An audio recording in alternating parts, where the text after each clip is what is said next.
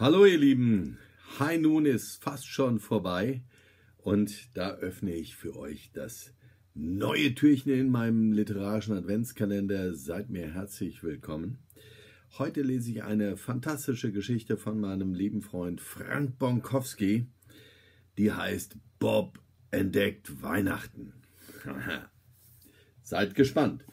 Und natürlich wieder aus diesem wunderbaren Buch Weihnachtswundernacht Band 7, erschienen im Brendo Verlag, herausgegeben von Thomas Klappstein, auch einem guten Freund von mir. Aber heute von unserem gemeinsamen Freund ähm, Frank Ponkowski die Geschichte Bob entdeckt Weihnachten. Die Sandkatze, Felis Margarita, sieht eigentlich genauso aus wie die Hauskatzen. Nur hat ihr Fell, wie der Name schon sagt, die Farbe von Sand, was durchaus hilfreich sein kann, wenn du in der israelischen Wüste lebst und nicht weiter auffallen möchtest. Bob war so eine Sandkatze beziehungsweise ein Sandkater, dem es eigentlich ganz recht war, nicht aufzufallen. Damals in Israel wäre niemand auf den Gedanken gekommen, eine Katze freiwillig in sein Haus zu lassen oder gar auf den Schoß zu nehmen, um sie zu streicheln. Stell dir vor, du rufst gerade die Familie zusammen, um gemeinsam den festlich gedeckten Weihnachtstisch zu genießen.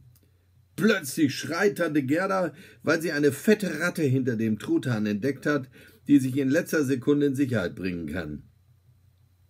Etwa so hat man im antiken Israel auf Hunde und Katzen reagiert. Eklige, schmutzige Dinger, die man besser mied.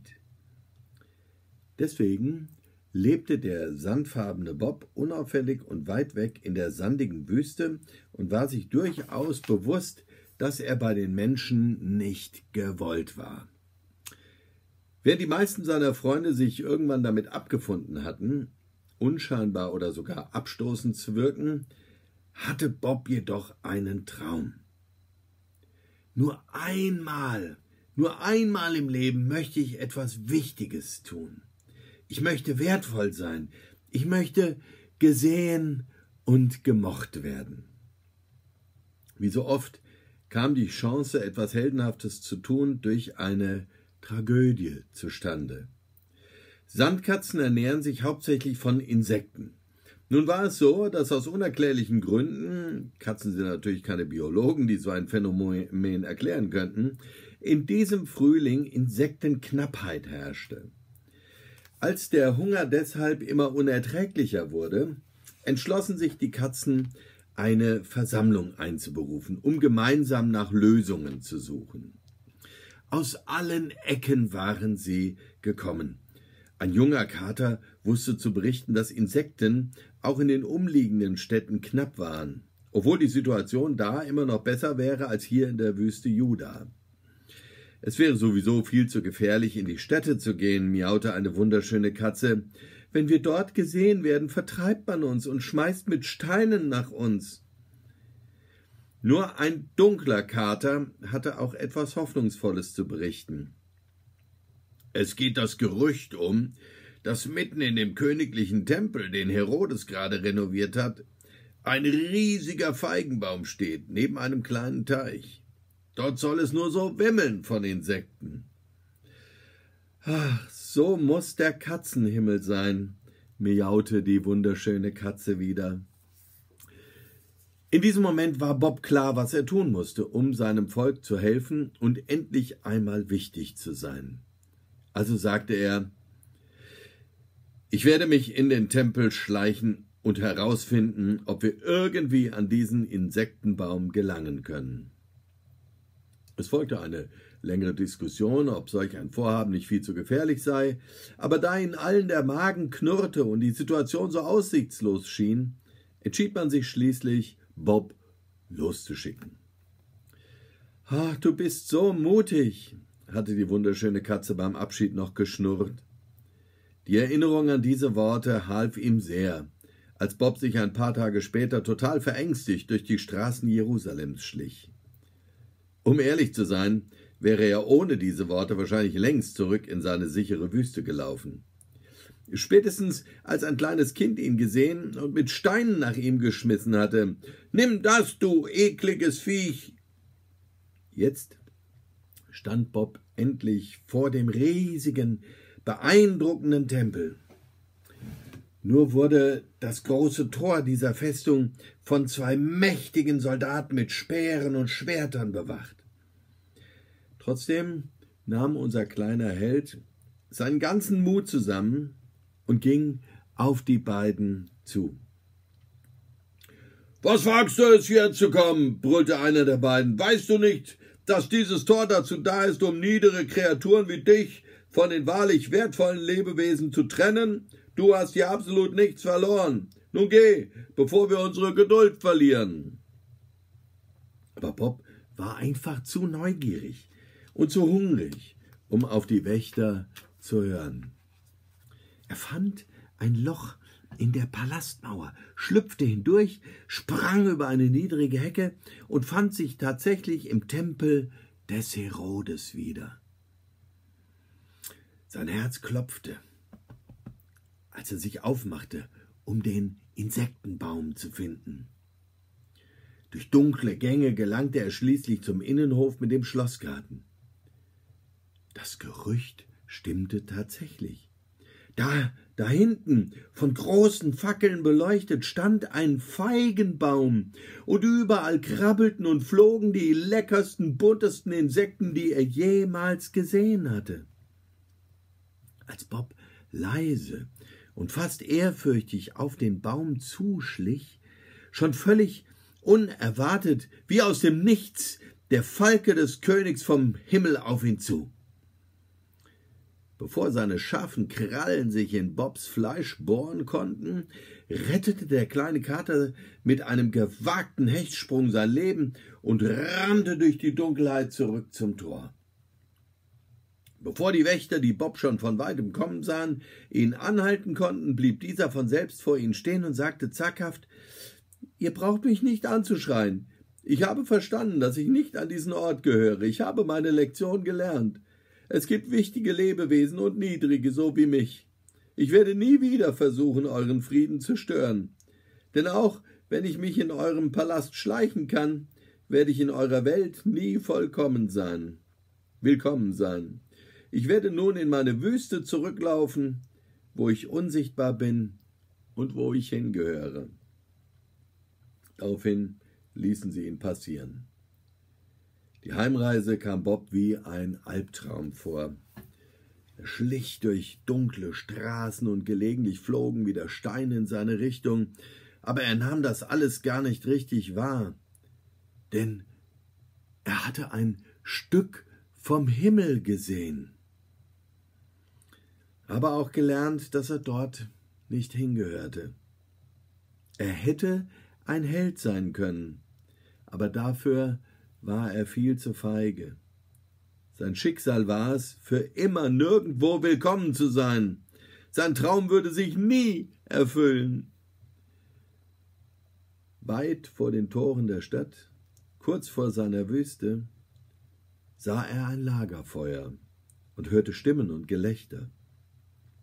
Von einem sicheren Versteck in einem Baum aus beobachtete er eine Handvoll Hirten, die sich um ein wärmendes Feuer gruppierten. Wie nennt man einen Römer, der sich Schafe leiht? Lamborghini. Hirten, die sich am Lagerfeuer blöde Witze erzählten. Stehen ein Schaf und ein Rasenmäher auf einer Wiese, sagt das Schaf, Mäh, antwortet der Rasenmäher, du hast mir gar nichts zu befehlen. Der kleine Kater fühlte eine seltsame Verbindung zu diesen lustigen Männern am Lagerfeuer. Hirten waren in Israel nämlich ähnlich schlecht angesehen wie Katzen. Sie versuchten zu überleben, sie versteckten sich vor den Blicken der wichtigen Menschen. Für die Menschen Jerusalems waren sie nur eine Bande von Unreinen. Deswegen verachtete man sie und wollte nichts mit ihnen zu tun haben. Fast wäre Bob zum Feuer gelaufen, aber das traute er sich dann doch nicht. Plötzlich bemerkte der Kater einen ungewöhnlichen Stern, der immer näher kam. Die Hirten registrierten ihn gar nicht. Erst die folgende Explosion ließ sie aufschrecken. Alles war in grelles Licht getaucht und ein Engel erschien. Die Hirten knieten sich ängstlich auf den Boden. Bobs Haare standen senkrecht und er fiel fast aus seinem Baum, auf den er sich zum Schlafen gelegt hatte. Da begann der Engel zu sprechen. Ihr braucht euch nicht zu fürchten. Ich bringe euch eine gute Nachricht, über die im ganzen Volk große Freude herrschen wird. Heute ist euch in der Stadt Davids ein Retter geboren worden. Es ist der Messias, der Herr.